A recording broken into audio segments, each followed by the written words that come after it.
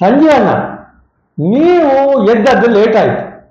ನೀವು ಹೇಳುವಾಗ ಅದರ ಮೊದಲೇ ರಾಜ್ಯ ಸರ್ಕಾರ ಏನು ಮಾಡಬೇಕಾಗಿತ್ತು ಅದನ್ನು ಮಾಡಿ ಅಡಿಕೆ ಇವತ್ತು ಈ ರೀತಿಗೆ ಮಲಗಿ, ಇಲ್ಲಿ ಮಲಗಿ, ಅಡಿಕೆಯ ಬೆಲೆ ಕಡಿಮೆ ಆಗಬೇಕಾದ್ರೆ ಅದಕ್ಕೆ ಕಾರಣ ಏನು? ನಮ್ಮ ಗಡಿಗಳಲ್ಲಿ ಕಳ್ಳ ಸಾಗಾಣಿಕೆ ಆಗಿ ಅಡಿಕೆ ನಮ್ಮ ದೇಶಕ್ಕೆ ಬರ್ತಾ ಇದೆಯೋ, ಅದು. ಯಾವಾಗ ಭೂತಾನಿಂದ ಹಸಿ ಅಡಿಕೆಯನ್ನ ಆಮದು ಮಾಡಿಕೊಳ್ಳಿಕ್ಕೆ ಕೇಂದ್ರದ ನರೇಂದ್ರ ಮೋದಿ ಸರ್ಕಾರ ಬಿಜೆಪಿ ಸರ್ಕಾರ ನಿಶ್ಚಯ ಮಾಡಿತು, ಆ ಕ್ಷಣದಿಂದಲೇ ಅಡಿಕೆಯ ಬೆಲೆ ಶೇಕ್ ಆಗಲಿಕ್ಕೆ ಶುರುವಾಗಿದೆ. ಒಂದು ಸಲ ಗಡಿ ಓಪನ್ ಆದರೆ, ಒಂದು ಸಲ ಅಡಿಕೆ ಒಳಗೆ ಬರಲಿಕ್ಕೆ ಶುರುವಾದರೆ, ಅಡಿಕೆ ಲೋಡು ಲೋಡು ಬರ್ತದೆ. ಒಂದು ಲೋಡು ಅಧಿಕೃತವಾಗಿ ಬಂದರೆ, ನೂರು ಲೋಡು ಅನಧಿಕೃತವಾಗಿ ಬರ್ತದೆ. ಯಾವಾಗ ಹಸಿ ಅಡಿಕೆಯನ್ನ ಆಮದು ಮಾಡಿಕೊಳ್ಳುವ ಮೂರ್ಖ ನಿರ್ಧಾರವನ್ನ ಕೇಂದ್ರ ಸರ್ಕಾರ ಮಾಡಿತೋ ಅದರ ನಂತರ ಅಡಿಕೆಯ ಬೆಲೆ ನಿಧಾನವಾಗಿ ಇಳಿತಾ ಬಂತು. ಅಡಿಕೆ ಬೆಳೆಯ ಕಿಂಗ್ ಪಿನ್ನುಗಳು, ಅಡಿಕೆ ಲಾಬಿಯ ಕಿಂಗ್ ಪಿನ್ನುಗಳು ಅಕ್ರಮವಾಗಿ ಅಡಿಕೆಯನ್ನು ಭಾರತದೊಳಕ್ಕೆ ತರುವುದಕ್ಕೆ ಕಿಂಗ್ ಪಿನ್ನುಗಳಿದೆ ಮತ್ತು ಇವರು ಬಿಜೆಪಿಯವರೇ ಆಗಿದ್ದಾರೆ. ಬಿಜೆಪಿಯ ಚಾಣಕ್ಯ, ಚುನಾವಣಾ ಚಾಣಕ್ಯನ ಸುಪುತ್ರ. ನಾವೆಲ್ಲ ನೋಡಿದ್ದೇವೆ ಅವರನ್ನು. ಅವರು ಇದರ ಹಿಂದೆ ಇದ್ದಾರೆ ಅನ್ನುವುದು ಇವತ್ತು ಹುಟ್ಟಿದ ಮಗುವಿಗೆ ಕೂಡ ಅದು ಪುತ್ತೂರಿನಲ್ಲಿ ಗೊತ್ತುಂಟು. ಸಂಜೆ ಮಠದವರು ಮಾತನಾಡುವಾಗ ಹೇಳಿದ್ರು, ನಮ್ಮ ಎಂ ಎಲ್ ಎಗಳನ್ನ ವಿಧಾನಸೌಧದಲ್ಲಿ ಮಾತಾಡ್ಲಿಕ್ಕೆ ಹೇಳ್ತೇವೆ ಅಂತ. ಮಾತಾಡಿದ್ರು ಅವರು ಇವತ್ತಿನವರೆಗೆ. ಇದು ಏನಿದ್ರು ಕೂಡ ಸಂಜೀವ ಮಠದವರಿಗೆ ರೈತರ ಮೇಲೆ ಒಂದಿಷ್ಟಾದರೂ, ಓ, ಪ್ರೀತಿ ಇಲ್ಲ. ಅವರಿಗೆ ನಿಜವಾಗಿಯೂ ಪ್ರೀತಿ ಇರ್ತಿದ್ರೆ ಅವ್ರು ಯಾವತ್ತೂ ಅಡಿಕೆ ಒಂದು ಜಗಿದು ಉಗಿಯುವ ವಸ್ತು ಅಂತ ಹೇಳ್ತಿರ್ಲಿಲ್ಲ. ಅಡಿಕೆ ಒಂದು ಜಗಿದು ಉಗುಳುವ ವಸ್ತು. ಅಂದ್ರೆ ಅಷ್ಟು ಕೀಳದು ಅಂತೇಳಿ ಅಂತಹ ಒಂದು ಉಗುಳಿಗೆ ಸಮಾನವಾದ ಒಂದು ವಸ್ತು ಅಂತ ಪ್ರತಿಪಾದನೆ ಮಾಡ್ತಾರಲ್ಲ, ಇವರಿಗೆ ನಾಚಿಗೆ ಆಗುದಿಲ್ವ ಅಡಿಕೆ ಬೆಳೆಗಾರರ ಲಾಭಿ ಎಲ್ಲಿತ್ತು? ಇವರು ಎಂ ಎಲ್ ಆಗಿ ಏನು ಮಾಡಿದ್ರು? ಯಾರು ಅಡಿಕೆ ಬೆಳೆ ವ್ಯಾಪಾರಿಗಳು, ಅವರ ದುಡ್ಡಿನಲ್ಲಿ ಅವರು ಲಾಬಿ ಮಾಡ್ತಾರೆ. ಇಂಥ ಎಂ ಎಲ್ ಎಗಳನ್ನ ಕೊಂಡುಕೊಂಡು ಇಷ್ಟರವರೆಗೆ ಕರ್ನಾಟಕದ ಇತಿಹಾಸದಲ್ಲಿ ಎಲ್ಲಾದರೂ ಬಜೆಟ್ ಭಾಷಣದಲ್ಲಿ ಅಡಿಕೆಯ ಪ್ರಸ್ತಾಪ ಬಂದದ್ದುಂಟ ಇದ್ರೆ ಸಂಜೀವ ಮಠಂದ್ರವರು ತಂದು ತೋರಿಸಬೇಕು ನಮಗೆ. ಇದರ ಜೊತೆಗೆ ಸಂಜೀವ ಮಠಂದರು ಇಲ್ಲಿ ಬಾಯಿ ಪಡ್ಕೊಳ್ಳುವುದಕ್ಕೆ ಮೊದಲೇ ಕರ್ನಾಟಕ ರಾಜ್ಯ ಸರ್ಕಾರದ ಜೊತೆಗೆ ಮಾತನಾಡಿ, ಸಿದ್ದರಾಮಯ್ಯನವರಿಗೆ ಮಾತನಾಡಿ, ಅಡಿಗೆಗೆ, ಬೆಂಬಲ ಬೆಲೆಗೆ ಪ್ರಪೋಸಲನ್ನ ಬಜೆಟ್ ಅಧಿವೇಶನಕ್ಕೆ ಮೊದಲೇ ಕಳಿಸಿಕೊಟ್ಟಿದ್ದಾರೆ. ಇಷ್ಟರವರೆಗೆ ಕರ್ನಾಟಕದ ಇತಿಹಾಸದಲ್ಲಿ ಎಲ್ಲಾದರೂ ಬಜೆಟ್ ಭಾಷಣದಲ್ಲಿ ಅಡಿಕೆಯ ಪ್ರಸ್ತಾಪ ಬಂದದ್ದುಂಟ ಇದ್ರೆ ಸಂಜೀವ ಮಠಂದ್ರವರು ತಂದು ತೋರಿಸಬೇಕು ನಮಗೆ. ಈ ಬಂಡವಾಳ ಇಲ್ಲದೆ ಬಡಾಯಿ ಬಿಡುವುದರಲ್ಲಿ ಬಿಜೆಪಿಯವರು ನಿಸ್ಸೀಮರು ಅದರಲ್ಲಿಯೂ ಪುತ್ತೂರಿನ ಮಾಜಿ ಶಾಸಕರಾದ ಸಂಜೀವ ಮಟ್ಟಂದೂರವರು ಪಟ್ಟೆ ಇಲ್ಲದ ರೈಲು ಬಿಡುವುದರಲ್ಲಿ ಅವರು ಚಾಂಪಿಯನ್. ಅವರು ಮೊನ್ನೆ ಇಲ್ಲಿಗೆ ಬಂದೊಂದು ಪ್ರೆಸ್ ಮೀಟ್ ಮಾಡಿದ್ರು. ಹೀಗೆ ಈ ಪ್ರೆಸ್ ಮೀಟಿಗೆ ಬರುವಾಗ ಅವರಿಗೆ ಯಾವ ಮಾಹಿತಿಯೂ ಇರಲಿಲ್ಲ. ಯಾವ ಜ್ಞಾನ ಕೂಡ ಅವರಲ್ಲಿ ಇರಲಿಲ್ಲ. ನಾವೆಲ್ಲ ಅದನ್ನು ಗಮನಿಸಿದ್ದೇವೆ. ಅವರಿಗೆ ಪುತ್ತೂರು ಬಿಜೆಪಿಯಲ್ಲಿ ತಾನೇ ಯಜಮಾನ ಅಂತ ಸ್ಥಾಪಿಸಬೇಕು. ಅದರ ಜೊತೆಗೆ ಪುತ್ತೂರಿನ ರಾಜಕೀಯದಲ್ಲಿ ಪ್ರಸ್ತುತ ಆಗಬೇಕು ಅನ್ನೋ ಉದ್ದೇಶದಿಂದಲೇ ಅವರು ಮೊನ್ನೆ ಪ್ರೆಸ್ ಮೀಟ್ ಕರೆದು ನಮ್ಮ ಕಾಂಗ್ರೆಸ್ ಸರ್ಕಾರವನ್ನು ರೈತ ವಿರೋಧಿ ಅಂತ ಹೇಳುವ ವ್ಯರ್ಥ ಪ್ರಯತ್ನವನ್ನು ಮಾಡಿದ್ದಾರೆ. ಇದು ಅತ್ಯಂತ ನಾಚಿಕೆಗೇಡಿನ ವಿಷಯ. ಯಾಕೆ ನಾನು ಹೀಗೆ ಹೇಳ್ತೇನೆ ಅಂತೇಳಿ ನಾನು ತುಂಬಾನೇ ಹೇಳುವುದಿಲ್ಲ. ನಾನು ಅದಕ್ಕೆಲ್ಲ ಕಾರಣ ಇದ್ದೇ ಮಾತಾಡ್ತಾ ಇದ್ದೇನೆ. ಯಾಕೆಂತ ಹೇಳಿದ್ರೆ, ಅವರು ಮೊನ್ನೆ ದಿವಸ ಅಡಿಕೆಗೆ ಬೆಲೆ ಕುಸಿತಾ ಇದೆ. ಹಾಗಾಗಿ ಅದಕ್ಕೆ ಬೆಂಬಲ ಬೆಲೆ ಕೊಡಬೇಕು ಅಂತ ಅವರು ಒಂದು ಡಿಮಾಂಡ್ ಅನ್ನು ಇಟ್ಟಿದ್ದಾರೆ. ಅವರು ಆ ಡಿಮಾಂಡ್ ಅನ್ನು ಹೇಗೆ ಇಟ್ಟಿದ್ದಾರೆ ಅನ್ನೋದ್ರ ಮೇಲೆ, ಮತ್ತೆ ಅವರೇನೆಲ್ಲ ಮಾತಾಡಿದ್ರು ಅನ್ನೋದ್ರ ಮೇಲೆ ಅವರ ಆಟಿಟ್ಯೂಡ್ ಏನು ಅನ್ನೋದು ನಮಗೆ ಅರ್ಥ ಆಗ್ತದೆ. ಒಂದು ಕಡೆ ಅವರು ರಾಜ್ಯ ಸರ್ಕಾರ ಇದಕ್ಕೆ ಬೆಂಬಲ ಬೆಲೆಯನ್ನು ಕೊಡಬೇಕು ಅಂತ ಹೇಳ್ತಾರೆ. ಇನ್ನೊಂದು ಕಡೆ ಅವರು ಎ ಪಿ ಎಂ ಸಿಯ ಸೆಸ್ಸಾಣ, ಅದು ಸರ್ಕಾರಕ್ಕೆ ಹೋಗ್ತದೆ. ಆ ಸೆಸ್ಸಾಣದಲ್ಲಿ ಅವರು ಬೆಂಬಲ ಬೆಲೆಯನ್ನು ಕೊಡಬೇಕು ಅಂತ ಹೇಳ್ತಾರೆ. ಅವರಿಗೆ ಸ್ಪಷ್ಟತೆ ಇಲ್ಲ. ಯಾವುದರಿಂದ ಬೆಂಬಲ ಬೆಲೆ ಕೊಡಬೇಕು? ಅವರಿಗೆ ಬೆಂಬಲ ಬೆಲೆ ಅಂದ್ರೆ ಏನು? ಅಥವಾ ಮಾರುಕಟ್ಟೆ ಮಧ್ಯಪ್ರವೇಶ ಯೋಜನೆ ಅಂದ್ರೆ ಏನು? ಅನ್ನೋದೇ ಅವರಿಗೆ ಗೊತ್ತಿಲ್ಲ. ನೋಡಿ, ಮಾರುಕಟ್ಟೆ ಮಧ್ಯಪ್ರವೇಶ ಯೋಜನೆ ಅಂತ ಹೇಳಿದ್ರೆ ಯಾವುದಾದ್ರೂ ಒಂದು ಬೆಳೆಗೆ ಬೆಳೆ ಅದರ ಬೆಲೆ ಇಳಿಕೆ ಆದಾಗ, ಅದರಿಂದಾಗಿ ಜನರಿಗೆ ಜನಜೀವನ ಮಾಡುವುದೇ ಕಷ್ಟ ಅಂತ ಅನಿಸಿದಾಗ, ರಾಜ್ಯ ಸರ್ಕಾರ, ಕೇಂದ್ರ ಸರ್ಕಾರಕ್ಕೆ ಒಂದು ಪ್ರಪೋಸಲ್ ಕಳಿಸ್ಬೇಕಾಗ್ತದೆ. ನಾವು ಇಂಥ ಇಂಥ ಬೆಳೆಗೆ ಹೀಗೀಗೆ ಸಮಸ್ಯೆ ಆಗಿದೆ, ನೀವು ಇದಕ್ಕೆ ಬೆಂಬಲ ಬೆಲೆ ಕೊಡಲಿಕ್ಕೆ ನೀವು ಕೂಡ ಅನುಮತಿ ಕೊಡಬೇಕು ಅಂತ ಹೇಳಿ ಅವರಿಗೆ ಪತ್ರ ಬರೆದು ಅವರ ಅನುಮತಿಯನ್ನು ಪಡ್ಕೊಳ್ಬೇಕು ಮತ್ತು ಕೇಂದ್ರ ಸರ್ಕಾರ ಇದಕ್ಕೆ ಒಪ್ಪಬೇಕು. ಆ ನಂತರ ಫಿಫ್ಟಿ ಫಿಫ್ಟಿ ಅನುಪಾತದಲ್ಲಿ, ಅನುದಾನದ ಐವತ್ತು ಶೇಕಡವನ್ನ ಕೇಂದ್ರ ಸರ್ಕಾರವು, ಐವತ್ತು ಶೇಕಡ ಅನುದಾನವನ್ನು ರಾಜ್ಯ ಸರ್ಕಾರವು ಭರಿಸಿ ಮಾತು, ಮಾರುಕಟ್ಟೆಯಲ್ಲಿ ಮಧ್ಯಪ್ರವೇಶ ಮಾಡ್ತಾರೆ. ಇದು ಹಿಂದೆ ಎಸ್ ಎಂ ಕೃಷ್ಣ ಅವರ ನೇತೃತ್ವದಲ್ಲಿ ಕಾಂಗ್ರೆಸ್ ಸರ್ಕಾರ ಇದ್ದಾಗ ಕೂಡ ಇದೇ ಆದದ್ದು. ಆಗ ಎಸ್ ಎಂ ಕೃಷ್ಣ ಅವರು ವಾಜಪೇಯಿ ಅವರ ಸರ್ಕಾರಕ್ಕೆ ಇಲ್ಲಿಂದ ಪ್ರಪೋಸಲ್ ಕಳಿಸಿದ್ರು. ಅವರು ಅದನ್ನು ಒಪ್ಪಿಕೊಂಡು ಫಿಫ್ಟಿ ಫಿಫ್ಟಿ ಶಾರಿನ ಆಧಾರದಲ್ಲಿ ಅವರು ಇಲ್ಲಿ ಬೆಂಬಲ ಬೆಲೆಯನ್ನು ಘೋಷಣೆ ಮಾಡಿದರು. ಇದು ಎಲ್ಲರಿಗೂ ಗೊತ್ತಿರುವಂತ ವಿಷಯ. ಆದರೆ ಸಂಜೀವ ಮಠಂದೂರು ಈಗ ಬೆಂಬಲ ಬೆಲೆಗೆ ಡಿಮಾಂಡ್ ಇಟ್ಟಿದ್ದಾರೆ. ಈಗ ಪರಿಸ್ಥಿತಿ ಏನು? ಯಾವ ಕಾರಣಕ್ಕಾಗಿ ಅಡಿಕೆ ಬೆಲೆ ಇಳಿದಿದೆ ಅನ್ನುವುದು ಇವತ್ತು ನಮಗೆಲ್ಲರಿಗೂ ಗೊತ್ತಿರುವಂತಹ ಸಂಗತಿ. ಇವತ್ತು ಇಡೀ ದೇಶದಲ್ಲಿ ಅಡಿಕೆಯ ಕಲಬೆರಕೆ ಆಗ್ತಾ ಇದೆ. ಈ ಕಲಬೆರಕೆಯ ಕಾರಣ ಆಗುವಂತ ಅಡಿಕೆ ಹೊರ ದೇಶದಿಂದ ಅಕ್ರಮವಾಗಿ ಕಳ್ಳ ಸಾಗಾಣಿಕೆಯ ಮೂಲಕ ಭಾರತಕ್ಕೆ ಬರ್ತದೆ.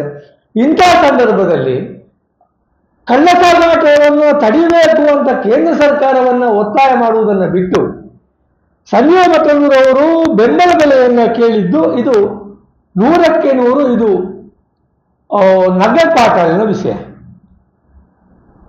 ಅದು ಒಂದು ವಿಷಯ ಸಂಜೀವ ಮತ್ತೊಂದರವರಿಗೆ ಗೊತ್ತಿಲ್ಲ.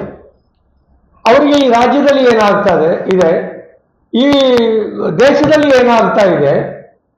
ನಮ್ಮ ಎ ಪಿ ಎಂ ಸಿಯಲ್ಲಿ ಏನಾಗ್ತಾ ಇದೆ ಅನ್ನೋದರ ಯಾವ ಜ್ಞಾನ ಕೂಡ ಇಲ್ಲದೆ ಸಂಜೀವ ಮಠಂದೂರ್ ಅವರು ಮೊನ್ನೆ ಮಾತಾಡಿದ್ದಾರೆ.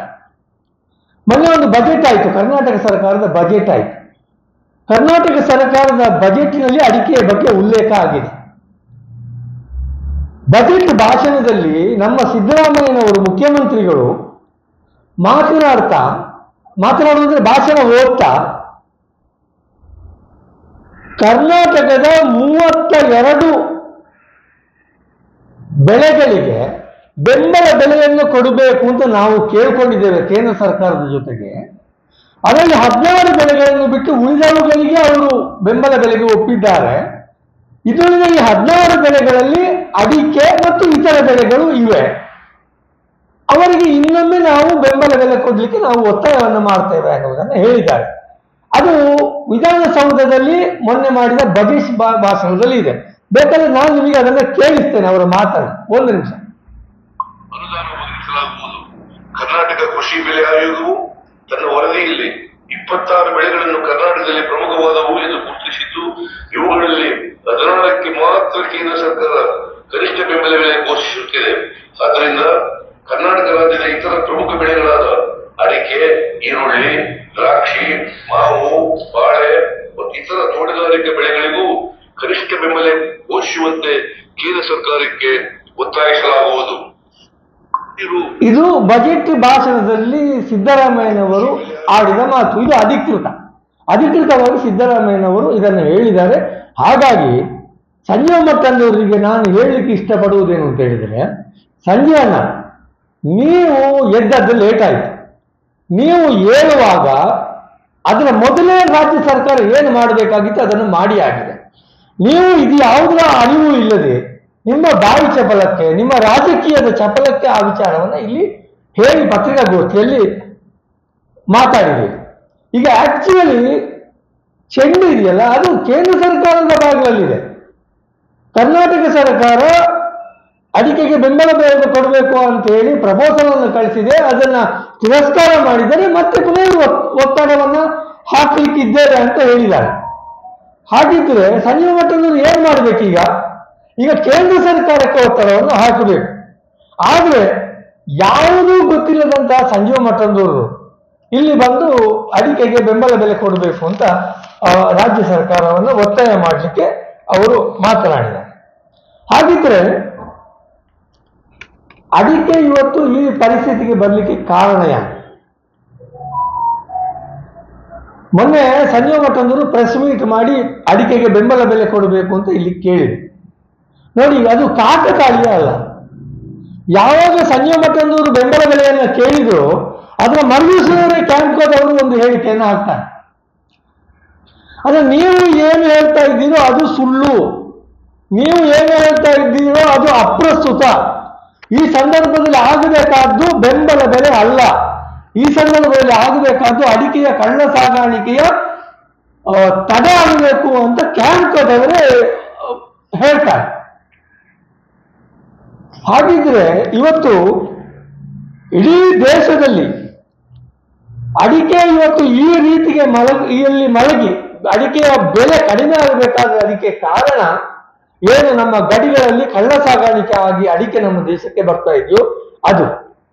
ಇದರ ನೇರ ಹೊಣೆ ಇದು ಕೇಂದ್ರ ಸರ್ಕಾರ ಕೇಂದ್ರ ಸರ್ಕಾರದ ಬಗ್ಗೆ ಬಿಜೆಪಿಯವರು ಆಗಾಗ ಆಗಾಗ ಹೇಳ್ತಾ ಇರೋ ಒಂದು ಮಾತಿದೆ. ನಮ್ಮ ಗಡಿಯನ್ನು ನಾವು ಭದ್ರಪಡಿಸಿದ್ದೇವೆ. ಒಂದು ನರಬಿಲೆಯನ್ನು ಕೂಡ ಒಳಗೆ ಬರಲಿಕ್ಕೆ ಬಿಡುವುದಿಲ್ಲ.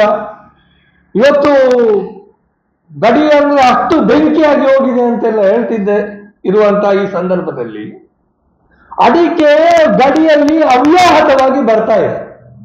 ಇದು ಯಾವಾಗ ಆರಂಭ ಆಯಿತು ಮತ್ತು ಯಾಕೆ ಆರಂಭ ಆಯಿತು ಅಂತ ಹೇಳಿದರೆ, ನೋಡಿ, ಕೋವಿಡ್ ಸಮಯದಲ್ಲಿ ಅಡಿಕೆ ಬೆಲೆ ಏರಲಿಕ್ಕೆ ಶುರುವಾಯಿತು. ಯಾಕೆ ಶುರುವಾಯಿತು? ಸಂಜೀವ ಮಟ್ಟಂದರು ಇಲ್ಲಿ ಎಲ್ಲ ತಪ್ಪು ಮಾಹಿತಿಯನ್ನು ಕೊಟ್ಟಿದ್ದಾರೆ. ಈ ವಿಷಯದಲ್ಲಿ ತಪ್ಪು ಮಾಹಿತಿ ಕೊಟ್ಟಿದ್ದಾರೆ. ಬೆಳೆಗಾರರ ತಡೆಯಿಂದಾಗಿ ಅಡಿಕೆ ಮಾರುಕಟ್ಟೆ ಮೇಲಕ್ಕೆ ಹೋದದ್ದಲ್ಲ. ಗಡಿಗಳು ಬಂದಾದ ಕಾರಣ, ಕೋವಿಡ್ನ ಕಾರಣಕ್ಕೆ ಅಂತಾರಾಷ್ಟ್ರೀಯ ಗಡಿಗಳು ಬಂದಾದ ಕಾರಣ ರಸ್ತೆ ಸಂಪರ್ಕ ಇರ್ಬೋದು, ಬಂದರಿನ ಮೂಲಕ ಆಗುವ ಸಂಪರ್ಕ ಇರ್ಬೋದು, ಅಥವಾ ವಿಮಾನಯಾನಗಳು ನಿತ್ತ ಕಾರಣದಿಂದಾಗಿ ಯಾವುದೇ ರೀತಿಯಲ್ಲಿ ಕಂಟೈನರ್ಗಳ ಮೂಲಕ ಅಡಿಕೆ ಒಳಗೆ ಬರುವುದು ನಿಂತು ಈ ಕಾರಣದಿಂದ ಅವರು ಹೇಳಿದ್ದಾರೆ ಇಲ್ಲಿ ಮೊನ್ನೆ ಡಿಮಾಂಡ್ ಆ್ಯಂಡ್ ಸಪ್ಲೈ ಅಂತ ಡಿಮ್ಯಾಂಡ್ಗಿಂತ ಸಪ್ಲೈ ಕಡಿಮೆ ಆಯಿತು. ಹೊರಗಿನ ಅಡಿಕೆ ಬರುವುದು ನಿಂತು ಹೋಯಿತು. ಈ ಕಾರಣಕ್ಕೆ ಇಲ್ಲಿ ಅಡಿಕೆ ಬೆಲೆ ಏರಲಿಕ್ಕೆ ಶುರುವಾಯಿತು. ಆದರೆ ಯಾವಾಗ ಭೂತಾನಿಂದ ಹಸಿ ಅಡಿಕೆಯನ್ನ ಆಮದು ಮಾಡಿಕೊಳ್ಳಿಕ್ಕೆ ಕೇಂದ್ರದ ನರೇಂದ್ರ ಮೋದಿ ಸರ್ಕಾರ, ಬಿಜೆಪಿ ಸರ್ಕಾರ ನಿಶ್ಚಯ ಮಾಡಿತು. ಆ ಕ್ಷಣದಿಂದಲೇ ಅಡಿಕೆಯ ಬೆಲೆ ಶೇಕ್ ಆಗಲಿಕ್ಕೆ ಶುರುವಾಗಿದೆ. ಅದು ಅದರ ನಂತರ ನಿಧಾನವಾಗಿ ಸ್ವಲ್ಪ ಸ್ವಲ್ಪವೇ ಇಳಿತಾ ಬಂದಿದೆ. ನೋಡಿ, ಭೂತಾನಿಂದ ಅಡಿಕೆಯನ್ನು ಆಮದು ಮಾಡಿಕೊಳ್ಳುವ ಅಗತ್ಯ ಏನಿತ್ತು? ಇಲ್ಲಿ ಬೇಕಷ್ಟು ಅಡಿಕೆ ಬೆಳೀತಾ ಇದೆ. ಹಸಿ ಅಡಿಕೆ ಶಿರಸಿ ಭಾಗದಲ್ಲಿ ಬೇಕಷ್ಟು ಬೆಳೀತಾ ಇದೆ. ಎಲ್ಲಿಯೂ ಕೊರತೆ ಇಲ್ಲ.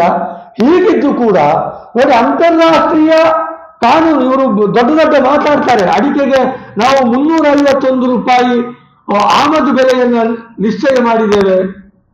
ಅದರ ಮೇಲೆ ನೂರ ಹತ್ತು ಪರ್ಸೆಂಟ್ ಟ್ಯಾಕ್ಸ್ ಹಾಕ್ತೇವೆ ಅಂತ. ಭೂತಾನಿಂದ ಅಡಿಕೆಯನ್ನು ಆಮದು ಮಾಡಿಕೊಳ್ಳುವಾಗ ಈ ಎರಡೂ ವಿಚಾರಗಳನ್ನ ಉಲ್ಲಂಘಿಸಿದ್ದಾರೆ. ಮುನ್ನೂರ ಐವತ್ತೊಂದು ರೂಪಾಯಿ ಅದರ ಅಡಿಕೆಯ ಏನು ಉತ್ಪಾದನಾ ವೆಚ್ಚ ಅಂತ ಹೇಳುವ ಆ ಆಮದು ಬೆಲೆ ಅದನ್ನು ಕೂಡ ಪಾಲನೆ ಮಾಡಲಿಲ್ಲ. ಅದಕ್ಕೆ ಕಡಿಮೆ ರೇಟಿಗೆ ಅಡಿಕೆ ಒಳಗೆ ಬಂದಿದೆ. ಅದರ ಜೊತೆಗೆ ಅವರಿಗೆ ನೂರ ಹತ್ತು ಪರ್ಸೆಂಟ್ ಇದ್ದ ಟ್ಯಾಕ್ಸ್ ಅನ್ನ ಹತ್ತು ಪರ್ಸೆಂಟ್ ಇಳಿಸಿದ್ದಾರೆ. ನೂರು ಪರ್ಸೆಂಟ್ ಟ್ಯಾಕ್ಸ್ ಅನ್ನ ಇಳಿಸಿ ಅಡಿಕೆಯನ್ನು ಆಮದು ಮಾಡಿಕೊಳ್ಳಲಾಗಿದೆ. ಒಂದು ಸಲ ಗಡಿ ಓಪನ್ ಆದರೆ, ಒಂದು ಸಲ ಅಡಿಕೆ ಒಳಗೆ ಬರಲಿಕ್ಕೆ ಶುರುವಾದರೆ ಅಡಿಕೆ ಲೋಡು ಲೋಡು ಬರ್ತದೆ. ಒಂದು ಲೋಡು ಅಧಿಕೃತವಾಗಿ ಬಂದರೆ ನೂರು ಲೋಡು ಅನಧಿಕೃತವಾಗಿ ಬರ್ತದೆ. ಮೊದಲು ನೋಡಿದ್ದೇವೆ, ಇಲ್ಲಿ ಮರ ಸಾಗಾಟದ್ದು ನೋಡಿದ್ದೇವೆ. ಒಂದು ಪರ್ಮಿಟ್ನಲ್ಲಿ ಎಷ್ಟು ಮರ ಹೋಗ್ತದೆ ಅಂತ ಲೋಕಕ್ಕೆ ಗೊತ್ತು ಒಂದು ಲೋಡಲ್ಲಿ ಮರ ಹೋದ್ರೆ ಹತ್ತು ಲೋಡು ಕಳ್ಳ ಮರ ಹೋಗ್ತದೆ. ಅಂದ್ರೆ ಅಲ್ಲಿ ತೋರಿಸಿಕ್ಕೆ ಒಂದು ಪರ್ಮಿಟ್ ಬೇಕಾಗ್ತದೆ. ಅದೇ ರೀತಿ ಈ ಹಸಿ ಅಡಿಕೆ ಆಪದ ಆದ ನಂತರವೇ ಅಡಿಕೆಗೆ ಬೆಲೆ ಕುಸಿಲಿಕ್ಕೆ ಆರಂಭವಾದದ್ದು. ಕೋವಿಡ್ ಹೋಗಿ ಎರಡು ಮೂರು ವರ್ಷ ಅಡಿಕೆಯ ರೇಟ್ ಭದ್ರವಾಗಿತ್ತು. ಐನೂರು, ಐನೂರ ಹತ್ತು, ಐನೂರವರೆಗೆ ಹೋಗಿತ್ತು.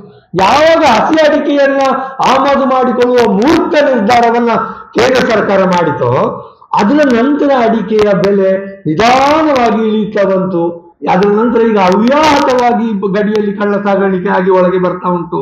ಇದನ್ನ ತಡೆಯದೆ ಹೋದ್ರೆ, ಇಲ್ಲಿ ದುರದೃಷ್ಟದ ಸಂಗತಿ ಅಂತ ಏನು ಅಂತ ಹೇಳಿದ್ರೆ, ನಮಗೆ ಇಬ್ಬರು ಎಂಪಿಗಳಿದ್ದಾರೆ ಒಬ್ಬರು ನಳಿನ್ ಕುಮಾರ್ ಕಟೀಲ್ ಅವರು. ಇನ್ನೊಬ್ರು ಕೇಂದ್ರ ಸಚಿವೆ ಅವರು ಶೋಭಾ ಕರಂದ್ಲಾಜೆ ಅವರು. ಇವರು ಯಾಕೆ ಈ ವಿಚಾರವನ್ನು ಎಲ್ಲಿಯೂ ಮಾತನಾಡುವುದಿಲ್ಲ? ಏನು ಇವತ್ತು ಏನು, ಇವತ್ತು ಮೊನ್ನೆ ಕಡ್ ಕೊಡ್ಗಿ ಅವರು ಹೇಳುವಾಗ ಏನು ಅಡಿಕೆ ಆಮದಾಗ್ಲಿಕ್ಕೆ, ಅಡಿಕೆ ಅಕ್ರಮ ಕಳ್ಳ ಸಾಗಾಣಿಕೆ ಆದ, ಆಗ್ಲಿಕ್ಕೆ ಆರಂಭ ಆದದ್ದಲ್ಲ. ಅವ್ರು ಮೊನ್, ಸುಮಾರು ಸಮಯ ಆಯಿತು. ಯಾಕೆ ಅದನ್ನು ಅವರು ಮಾತನಾಡುವುದಿಲ್ಲ? ಯಾಕೆ ಕೇಂದ್ರ ಸರ್ಕಾರದ ಮೇಲೆ ಒತ್ತಡ ಹೇಳುವುದಿಲ್ಲ? ಯಾಕೆ ಕೇಂದ್ರ ಸರ್ಕಾರಕ್ಕೆ ಇದು ಕಾಣುವುದಿಲ್ಲ? ಗಡಿಯಲ್ಲಿ ಅಕ್ರಮವಾಗಿ ಒಳಗೆ ಬರ್ತಾ ಇರುವಂತಹ ಅಡಿಕೆ. ಒಂದು ಲ್ಯಾಪ್ಟಾಪ್ ಇಟ್ಟುಕೊಂಡು ಯಾವ ಆಸ್ಪತ್ರೆಯಲ್ಲಿ, ಯಾವ ಕ್ಷಣದಲ್ಲಿ ಏನಾಗ್ತದೆ ಅಂತ ತಿಳಿಯಬಲ್ಲ ಸಾಮರ್ಥ್ಯ ಇರುವಂತ, ಆ, ವ್ಯಕ್ತಿಗಳಿಗೆ ಗಡಿಯಲ್ಲಿ ಹೀಗೆ ಲೋಡು ಲೋಡು ಅಡಿಕೆ ಬರುವಾಗ ಕಣ್ಣಿಗೆ ಯಾಕೆ ಕಾಣುವುದಿಲ್ಲ? ಅದನ್ನು ತಡೆಯುವುದಿಲ್ಲ ಯಾಕೆ? ಅದಕ್ಕೂ ಒಂದು ಕಾರಣ ಇದೆ. ಆ ಕಾರಣ ಕೂಡ ಮೊನ್ನೆ ಇಲ್ಲಿ ಪತ್ರಿಕಾಗೋಷ್ಠಿಯಲ್ಲಿ ಹೊರಗೆ ಬಂದಿದೆ. ಇದು ಇಲ್ಲಿ ಮಾತ್ರ ಅಲ್ಲ, ಇದನ್ನ ಕ್ಯಾಂಪ್ಸದ ಅಧ್ಯಕ್ಷರು ಒಮ್ಮೆ ಅನೌಪಚಾರಿಕವಾಗಿ ಹೇಳಿದ್ದಾರೆ. ಅಡಿಕೆ ಬೆಳೆಯ ಕಿಂಗ್ ಪಿನ್ನುಗಳು, ಅಡಿಕೆ ಲಾಬಿಯ ಕಿಂಗ್ ಪಿನ್ನುಗಳು, ಅಕ್ರಮವಾಗಿ ಅಡಿಕೆಯನ್ನು ಭಾರತದೊಳಕ್ಕೆ ತರುವುದಕ್ಕೆ ಕಿಂಗ್ ಪಿನ್ನುಗಳಿದೆ ಮತ್ತು ಇವರು ಬಿಜೆಪಿಯವರೇ ಆಗಿದ್ದಾರೆ. ಬಿಜೆಪಿಯ ಚಾಣಕ್ಯ, ಚುನಾವಣಾ ಚಾಣಕ್ಯನ ಸುಪುತ್ರ, ನಾವೆಲ್ಲ ನೋಡಿದ್ದೇವೆ ಅವರನ್ನು. ಅವರು ಇದರ ಹಿಂದೆ ಇದ್ದಾರೆ ಅನ್ನುವುದು ಇವತ್ತು ಹುಟ್ಟಿದ ಮಗುವಿಗೆ ಕೂಡ ಅದು ಪುತ್ತೂರಿನಲ್ಲಿ ಗೊತ್ತುಂಟು.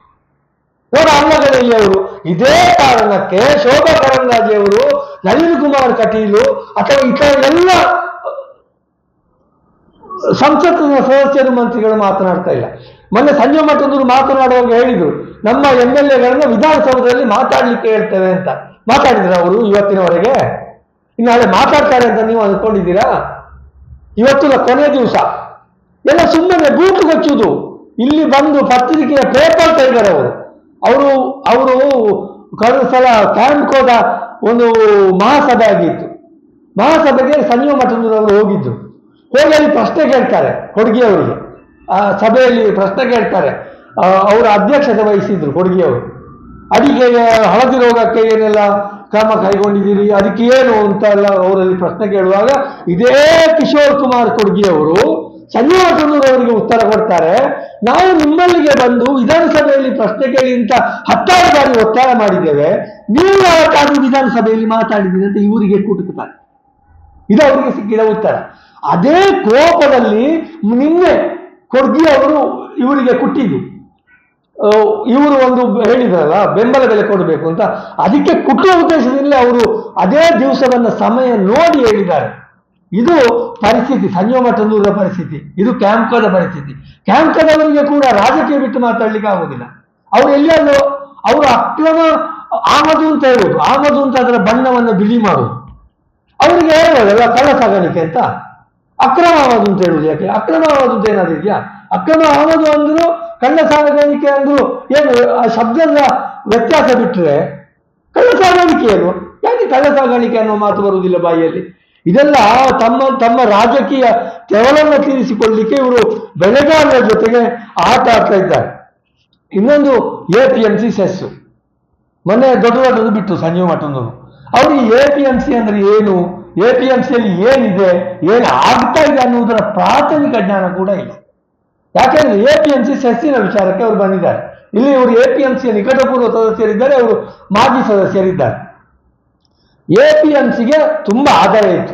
ಸೆಸ್ ರೂಪದಲ್ಲಿ ಕೋಟ್ಯಾಂತರ ರೂಪಾಯಿ ಎ ಪಿ ಎಂ ಸಿಗೆ ಆದಾಯ ಇತ್ತು ಒಂದು ಕಾಲದಲ್ಲಿ. ಯಾವಾಗ ಕೇಂದ್ರ ಸರ್ಕಾರ ಮೂರು ರೈತ ವಿರೋಧಿ ಕರಾಳ ಕಾನೂನುಗಳನ್ನು ಜಾರಿಗೆ ತಂತೋ, ಆಗ ಎ ಪಿ ಎಂ ಸಿಯ ಹಿಡಿತ ವ್ಯಾಪಾರಿಗಳ ಮೇಲೆ ಹೋಗ್ತದೆ. ಅಂದ್ರೆ ಎಲ್ಲಿ ಬೇಕಾದ್ರೂ ವ್ಯಾಪಾರ ಮಾಡಬಹುದು. ಎ ಪಿ ಎಂ ಸಿಯಲ್ಲೇ ಕೊಡಬೇಕು ಅಂತ, ವ್ಯಾಪಾರ ಮಾಡಬೇಕು ಅಂತ ಇಲ್ಲ ಅನ್ನುವ ಕಾನೂನು ಜಾರಿ ಬಂತು. ಅದೇ ಸಂದರ್ಭದಲ್ಲಿ ಕರ್ನಾಟಕ ರಾಜ್ಯ ಸರ್ಕಾರ ಕೂಡ ಎ ಪಿ ಎಂ ಸಿಗೆ ಅಮೆಂಡ್ಮೆಂಟ್ ಮಾಡ್ತದೆ. ಅದೇ ಕಾನೂನನ್ನು ಕರ್ನಾಟಕದಲ್ಲಿ ಜಾರಿಗೆ ತರ್ತದೆ. ಕೇಂದ್ರ ಸರ್ಕಾರ ರೈತರ ಒತ್ತಾಯಕ್ಕೆ ಮಣಿದು ಈ ಕಾನೂನನ್ನು ಹಿಂತೆಗೆದುಕೊಳ್ತದೆ. ಆದ್ರೆ ಕರ್ನಾಟಕ ರಾಜ್ಯ ಸರ್ಕಾರ ಎಪಿಎಂಸಿ ತಿದ್ದುಪಡಿ ಕಾಯ್ದೆಯನ್ನು ಹಿಂತೆಗೆದುಕೊಳ್ಳಿಲ್ಲ. ಅದನ್ನು ಮೊನ್ನೆ ನಮ್ಮ ಸರ್ಕಾರ ಹಿಂತೆಗೆದುಕೊಂಡದ್ದು. ಇದರ ನಂತರ ಕೋಟ್ಯಾಂತರ ರೂಪಾಯಿ ಆದಾಯ ಬರ್ತಾ ಇರುವಂತಹ ಎಪಿಎಂಸಿ ಸೆಸ್ಸು ಅದು ಅದು ತಿಂಗಳಿಗೆ ಹತ್ತು ಲಕ್ಷ, ಹದಿನೈದು ಲಕ್ಷಕ್ಕೆ ಬಂದು ಮುಟ್ಟಿದೆ. ಈ ಎಪಿಎಂಸಿ ಸೆಸ್ ಸಾಕಾಗ್ತದ? ಬೆಂಬಲ ಬೆಲೆಗೆ ಕೊಡ್ಲಿಕ್ಕೆ? ಅಲ್ಲಿ ಸದಸ್ಯರಿಗೆ ಅನುದಾನ, ಅವರಿಗೆ ರಸ್ತೆ ಮಾಡಲಿಕ್ಕೆ, ಯಾರಾದರೂ ರೈತರು ಅಪಘಾತದಲ್ಲಿ ಸತ್ರ ಅವರಿಗೆ ಪರಿಹಾರವನ್ನು ಕೊಡ್ಲಿಕ್ಕೆ ಈ ಹಣ ಉಪಯೋಗ ಆಗ್ತದೆ. ಅದಕ್ಕೆ ಸಾಕಾಗುವುದಿಲ್ಲ. ಇನ್ನೊಂದು ವಿಚಾರ ಇದೆ. ಕಳೆದ ವರ್ಷ, ಎರಡ್ ಸಾವಿರದ ಇಪ್ಪತ್ತನೇ ಇಸ್ವಿಯಲ್ಲಿ A P M C cess ಹೇಗಿತ್ತು? ಮೊದಲಿಗೆ ಒಂದೂವರೆ ಪರ್ಸೆಂಟ್ ಸೆಸ್ ಇತ್ತು ಅದನ್ನ ಕರ್ನಾಟಕದ ಅಂದಿನ ಸರ್ಕಾರದ, ಅಂದಿನ ಕಾನೂನು ಮಂತ್ರಿ ಮಾಧುಸ್ವಾಮಿಯವರು ಅವರು ಹೇಳ್ತಾರೆ. ಅದು ಪತ್ರಿಕೆಗಳಲ್ಲಿ ಬಂದಿದೆ. ಮೊದಲು ಒಂದೂವರೆ ಪರ್ಸೆಂಟ್ ಸೆಸ್ ಇತ್ತು, ಅದನ್ನು ನಾವು ಒಂದು ಪರ್ಸೆಂಟ್ಗೆ ಇಳಿಸಿದೆವು. ಈಗ ಈಗ ವ್ಯಾಪಾರಿಗಳ ಒತ್ತಡದಿಂದಾಗಿ ಅದನ್ನ ಝೀರೋ ಪಾಯಿಂಟ್ ತ್ರೀ ಫೈವ್ ಪರ್ಸೆಂಟ್ಗೆ ನಾವು ಇಳಿಸಿದ್ದೇವೆ. ಇದರಿಂದಾಗಿ ಎ ಪಿ ಎಂ ಸಿಯ ಅನುದಾನ, ಅದು ಏನು ಹಣ ಸಂಗ್ರಹಣೆ ಬಹಳಷ್ಟು ಕಡಿಮೆ ಆಗಿದೆ. ಈ ಕಾರಣದಿಂದಾಗಿ ಇವತ್ತು ನಮಗೆ ಎ ಪಿ ಎಂ ಸಿಯನ್ನು ನಡೆಸುವುದೇ ಕಷ್ಟ ಆಗಿದೆ ಅನ್ನುವ ಸ್ಟೇಟ್ಮೆಂಟ್ ಅನ್ನು ಅವರು ಹಾಕ್ತಾರೆ. ವ್ಯಾಪಾರಿಗಳ ಒತ್ತಡಕ್ಕೆ ಮಣಿದು ಒಂದೂವರೆ ಪರ್ಸೆಂಟ್ ಇದ್ದ ಸೆಸ್ ಅನ್ನ ಪಾಯಿಂಟ್ ಮೂರು ಐದಕ್ಕೆ ಇಳಿಸಿದ ಬಿಜೆಪಿಯವರು ಈಗ ಎ ಪಿ ಎಂ ಸಿಗಳು ಸೆಸ್ಸಿನ ಕೊರತೆಯಿಂದಾಗಿ ಅಲ್ಲಿ ಹಣದ ಕೊರತೆಯಿಂದ ಬಳಲ್ತಾ ಇರುವಾಗ ಇವರಿಲ್ಲಿ ಬಂದು ಕೂತುಕೊಂಡು A P M ಸಿಯವರು A P M C cess ಅದರ ಸರ್ಕಾರಕ್ಕೆ ಹೋಗ್ತದೆ, ಅದರಿಂದ ಕೊಡಬೇಕು ಅಂತ ಇವರು ಇಲ್ಲಿ ಭಾಷಣವನ್ನು ಬಿಡ್ತಾರೆ ಇದು ಏನಿದ್ರು ಕೂಡ ಸಂಜೀವ ಮಠಂದೂರವರಿಗೆ ರೈತರ ಮೇಲೆ ಒಂದಿಷ್ಟಾದರೂ, ಓ, ಪ್ರೀತಿ ಇಲ್ಲ. ಅವರಿಗೆ ನಿಜವಾಗಿಯೂ ಪ್ರೀತಿ ಇರ್ತಿದ್ರೆ ಅವ್ರು ಯಾವತ್ತೂ ಅದಕ್ಕೆ ಒಂದು ಜಗಿದು ಉಗಿಯುವ ವಸ್ತು ಅಂತ ಹೇಳ್ತಿರ್ಲಿಲ್ಲ. ಅವ್ರು ಎಷ್ಟು ಸಲ ಹೇಳಿದ್ರು. ಅವರು ಮೊನ್ನೆ ಹೇಳಿದ್ದಾರೆ. ಯಾವಾಗ ಅವರು ಎಂ ಎಲ್ ಎ ಆಗಿರುವಾಗ ಇಲ್ಲಿ ಹೇಳಿದ್ದಾರೆ. ನಾವು ಅದನ್ನು ಪ್ರತಿಭಟಿಸಿದ್ದೇವೆ ಇಲ್ಲಿಗೆ ಬಂದು ವಾಪಸ್. ಹಾಗೆಲ್ಲ ಹೇಳಬಾರದು ಅಂತ. ಅವರು ಇಲ್ಲಿ ಮೊನ್ನೆ ಮತ್ತೆ ಪುನಃ ಏನನ್ನ ಹೇಳಿದ್ದು? ಮಣ್ಣಿನ ಪ್ರೆಸ್ ಮೀಟ್ ಅದಕ್ಕೆ ಒಂದು ಜಗಿದು ಉಗುಳುವ ವಸ್ತು. ಅಂದ್ರೆ ಅಷ್ಟು ಕೀಳದು ಅಂತ ಹೇಳಿ. ಅದರ ನಂತರ ಪತ್ರಕರ್ತರು ನೀವು ಅದಕ್ಕೆ ಆಬ್ಜೆಕ್ಷನ್ ಹಾಕಿದ್ರಿ. ಬಹಳ ಒಳ್ಳೆ ವಿಷಯ. ನೀವು ಜಗಿದು ಉಗಿಯುವ ವಸ್ತು ಅಂತ ಹೇಳಬಾರದು. ಅದನ್ನು ತಿಂತಾರೆ, ನುಂಗ್ತಾರೆ. ನಾವು ಅಡಿಕೆ ಹೊಗೆಸ ಪಾತ್ರದಿಂದ ನುಂಗುದು. ಅಡಿಕೆನ ಯಾರು ಉಗುಳ್ತಾರೆ? ಇವರೇನಾದ್ರು ಉಗುಳ್ತಾರೆ? ಇವರು ಮತ್ತೆ ಮತ್ತೆ ಅಡಿಕೆ ಜಗಿದು ಉಗಿಳುವ ವಸ್ತು ಅಂತೇಳಿ ಇದೇ ಪ್ಲಾಟ್ಫಾರ್ಮ್ ಅಲ್ಲಿ ಕೂತ್ಕೊಂಡು ಮೊನ್ನೆ ಪ್ರತಿಪಾದನೆ ಮಾಡಿದ್ದಾರೆ. ಯಾಕೆ? ಇವ್ರು ಯಾಕೆ ಅಡಿಕೆನ ಅಷ್ಟು ಕೀಳಾಗಿ ಕಾಣುವ ಮನಸ್ಥಿತಿ ಯಾಕೆ? ಇವ್ರಿಗೆ ಎಷ್ಟು ಪ್ರೀತಿ ಉಂಟು ಅಡಿಕೆಯ ಬಗ್ಗೆ, ಅಡಿಕೆ ಬೆಳೆಗಾರರ ಬಗ್ಗೆ? ನೋಡಿ, ನಮ್ಮದೇ ಅಡಿಕೆ, ನಮಗೆ ಪೂಜನೀಯವಾದ ಅಡಿಕೆ ಇದನ್ನ ಕೆಲವರು ಆರೋಗ್ಯಕ್ಕೆ ಹಾನಿಕರ ಅಂತ ಹೇಳ್ತೇವೆ ಆಗ ನಮಗೆ ಸಿಟ್ಟು ಬರ್ತದೆ. ಆಗ ನಾವು ಪ್ರತಿಭಟಿಸ್ತೇವೆ.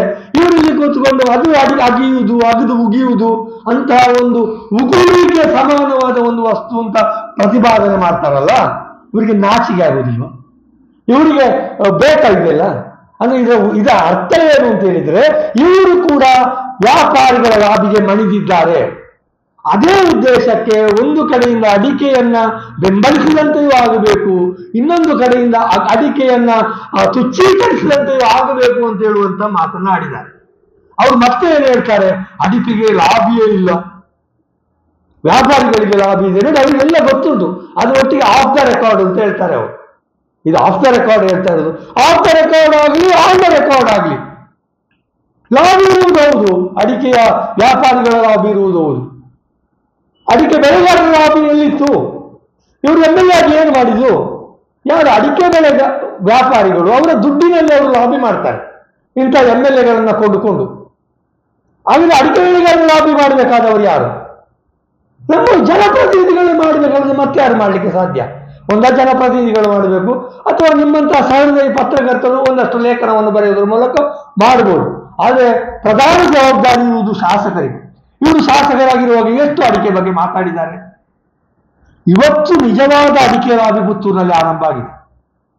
ಯಾವಾಗ ಪುತ್ತೂರಿನಲ್ಲಿ ಅಶೋಕ್ ಕುಮಾರ್ ಅವರು ಶಾಸಕರಾಗಿ ಬಂದರೋ, ಅದರ ನಂತರ ಅಡಿಕೆಯ ಲಾಭಿಯನ್ನ ಅವರು ಆರಂಭಿಸಿದ್ದಾರೆ. ಇಡೀ ಅಡಿಕೆಯ ಲಾಬಿಗೆ ಅವರು ನೇತೃತ್ವವನ್ನು ಕೊಟ್ಟಿದ್ದಾರೆ. ಯಾಕೆ ಅಂತ ಹೇಳ್ತೇನೆ, ಅವರು ಅವರ ಮೊದಲ ಅಧಿವೇಶನದಲ್ಲಿ, ಚೊಚ್ಚಲ ಅಧಿವೇಶನದಲ್ಲಿ ಅಡಿಕೆ ಹಳದಿ ರೋಗದ ಬಗ್ಗೆ ಅಲ್ಲಿ ವಿಧಾನಸಭೆಯ ಅಧಿವೇಶನದಲ್ಲಿ ಧ್ವನಿಯನ್ನು ಎತ್ತಿದ್ದಾರೆ. ಯಾರಾದರೂ ಎತ್ತಿದ್ದಾರೆ, ತಮ್ಮ ಮೊದಲನೆಯ ಅಧಿವೇಶನದಲ್ಲಿ ಆಗಲಿ, ಬೇರೆ ಅಧಿವೇಶನಗಳಲ್ಲಿ ಆಗಲಿ ಎಷ್ಟು ಧ್ವನಿಯನ್ನು ಎತ್ತಿದ್ದಾರೆ? ಐದೈದು ವರ್ಷ, ಹತ್ತತ್ತು ವರ್ಷ ಎಂ ಎಲ್ ಎಗಳಾಗಿ ಎಂ ಪಿಗಳಾಗಿದ್ದವರು ಯಾರು ಮಾತಾಡಿದ್ದಾರೆ? ಇದು ಮೊದಲನೆಯದು. ಎರಡನೇದು ಹಳದಿ ರೋಗದ ಜೊತೆಗೆ ಎಲೆಚುಕ್ಕಿ ರೋಗಕ್ಕೂ ಕೂಡ ಅವರು ಧ್ವನಿಯನ್ನು ಎತ್ತಿದ್ದಾರೆ. ಆಮೇಲೆ ಮೊನ್ನೆ ಒಂದು ದಿವಸ ಬನ್ನೂರು ಸೊಸೈಟಿಯಲ್ಲಿ ಅದರ ಅಧ್ಯಕ್ಷರಾಗಿರುವಂತಹ ಪಂಜುಗುಡ್ಡೇಶ್ವರ ಭಟ್ ಅವರು ಒಂದಷ್ಟು ಕಳಪೆ ಅಡಕೆ ಮಿಶ್ರಿತ ಅಡಕೆಯನ್ನು ಅವರಿಗೆ ತೋರಿಸ್ತಾರೆ. ಆಗ ಮತ್ತೆ ಪುನಃ ಧ್ವನಿ ಎತ್ತುತ್ತಾರೆ ನಮ್ಮ ಶಾಸಕರಾದ ಅಶೋಕ್ ಅವರು ಅವರು ಧ್ವನಿ ಎತ್ತಿ, ಅವರು ಕೇಂದ್ರ ಸರ್ಕಾರಕ್ಕೆ ಪತ್ರವನ್ನು ಬರೀತಾರೆ. ತಕ್ಷಣ ಅಕ್ರಮವನ್ನು ನೀವು ನಿಲ್ಲಿಸಬೇಕು ಅಂತ, ಅಕ್ರಮ ಸಾಗಾಟವನ್ನು ನಿಲ್ಲಿಸಬೇಕು ಅಂತ ಹೇಳಿ ಅವರು ಪತ್ರವನ್ನು ಬರೆಯುತ್ತಾರೆ ಇನ್ನು ಕುಂಕಿ ವಿಚಾರ. ಕುಂಕಿ ಅಂತ ಉಲ್ಲೇಖ ಇರುವ ಭೂಮಿ ಅಕ್ರಮ ಸಕ್ರಮದಲ್ಲಿ ಆಗುವುದಿಲ್ಲ. ಕುಪ್ಪಿ ಕುಂಕಿ ಅಂತ ಅನ್ನಿಸಿಕೊಂಡ ಭೂಮಿ, ಉಲ್ಲೇಖ ಎಲ್ಲಿಯೂ ಇಲ್ಲ. ಕುಂಕಿ ಅಂತ ಅನ್ನಿಸಿಕೊಂಡ ಭೂಮಿ ಉತ್ತರ ಸಕ್ರಮದಲ್ಲಿ ವಿಲಾವರಿ ಆಗುವುದಿಲ್ಲ. ಈ ಸಮಸ್ಯೆಯಿಂದಾಗಿ ಇಂದು ಅಡಿಕೆ ಬೆಳೆಗಾರರು ನರಳುತ್ತಾ ಇದ್ರೆ, ಅಶೋಕ್ ಕುಮಾರ್ ರೈ ಅವರು ಅಧಿವೇಶನದಲ್ಲಿ ಈ ಬಗ್ಗೆ ಮಾತಾಡ್ತಾರೆ ರೈತರಿಗೆ ಕುಂಕಿ ಹಕ್ಕನ್ನು ಕೊಡಬೇಕು.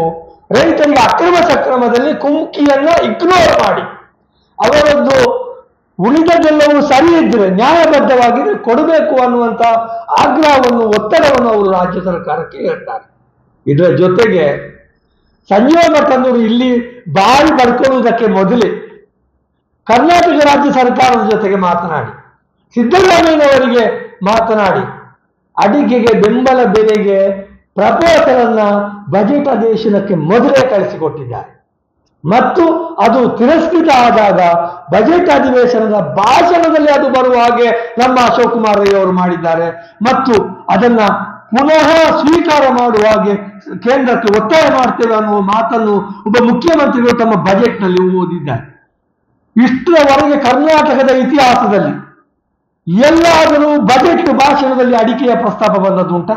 ಇದ್ರೆ ಸಂಜೀವ ಮತ್ತೊಂದರವರು ತಂದು ತೋರಿಸಬೇಕು ನಮಗೆ.